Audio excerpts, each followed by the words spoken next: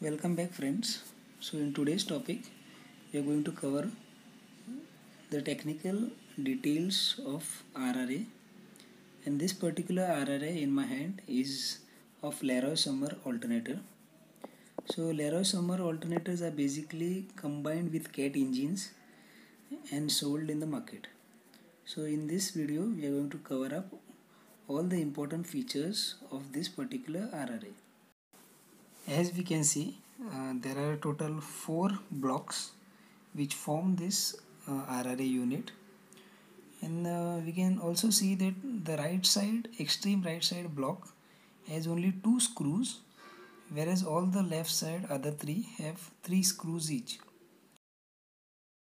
So let's see how this thing combines and work as a full RRA unit we will be also discussing how the RRA is mounted on the rotor shaft. But first we'll see how the thing works and how it is being tested. So here is a small diagram. Uh, here you can see this is a small diagram which depicts three points point 1, 2 and 3. As per the diagram the point 1 is our AC point then point 2 is our positive terminal and point 3 is our negative terminal. So now we will test this thing. So now we will test this RRA so we have placed two plates shorting plates on the RRA assembly. So this particular plate is shorting all the three number terminals of the block uh, of the block here you can see this is the shorting plate. Which shorts all the three number terminals. And this is the second shorting plate which shorts all the four, uh, two number terminals of the RRA. So in this way we have mounted two shorting plates. One will be positive one will be negative. And the remaining three screws which we can see right on the screen these are our three AC screws. So AC terminals of the RRA as this alternator is a three phase alternator there will be three AC points in it. And this particular empty block where you can see there is no screw this particular thing is actually our surge suppressor.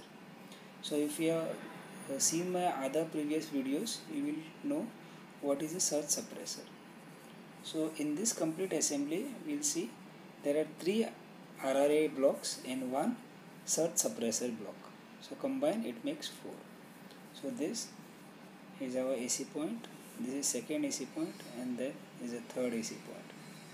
So now starts let's start testing it.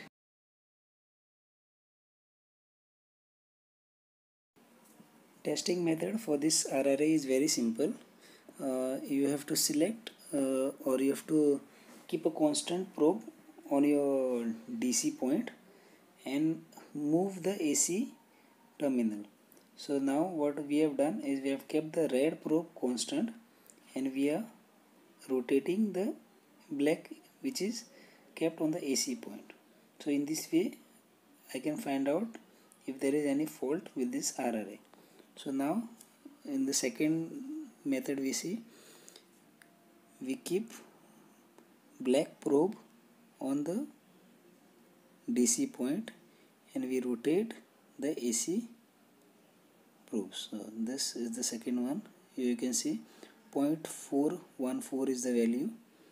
So any any value above 0.3 and below 0.4 in the range of 0.4 is considered to be a good RRA so this way we test the RRA and if all the values are 0.3 or 0.4 range then we assume it to be healthy. So to be more precise there is one more way we can where we can check individual blocks. So in this way now what you can see in the screen we check the individual block of this RRA so in this method same you can see one probe is kept constant and then the other probe is rotated so basically there is one anode and one cathode. So respectively all the values will be displayed on the meter so this is the second block. Here also you can see the value is 0.4 that means this RRA is healthy. So it is tested on the both side anode side and cathode side. So 0.43 this is also good. Now the third block. You see 0.42 good now you can see the screw is loose I think. We'll tighten it. And now again the value is 0.42 that means these three blocks are good. And the third one uh, the fourth block is our surge suppressor. So when you check the surge suppressor it should always be overload. So this surge suppressor is good healthy. So this the this way this RRA is being tested. The best part of this RRA is that this RRA comprises of four blocks. And in any situation if any particular block is found to be faulty that particular block can be dismantled and replaced with a new block. So in this way we need not replace the full RRA we can only replace the block the particular block which is defective and get the things moving. So friends now after our testing let's see how this RRA is mounted on the rotor shaft. So basically this RRA is mounted on the uh, non-drive end side of your rotor shaft with total 5 connections. So your two red wires will be your main rotor windings. Here as you can see there are two red wires of your rotor winding connections.